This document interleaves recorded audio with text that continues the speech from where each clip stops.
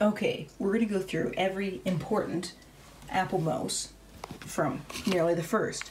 The Macintosh mouse M0100 from 1984. The Apple ADB mouse 2 from 1980 or 1993, I should say. That, in my opinion, the first one was nicer. The Apple Pro mouse from 2000. Pretty cool.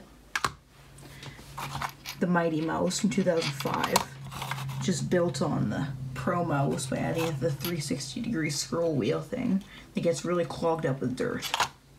Here's my wireless Mighty Mouse from 2006 that you can see is all in parts, but first wireless Apple mouse from my knowledge. And here's the Magic Mouse 2, the most recent Apple mouse. Most recent, second oldest.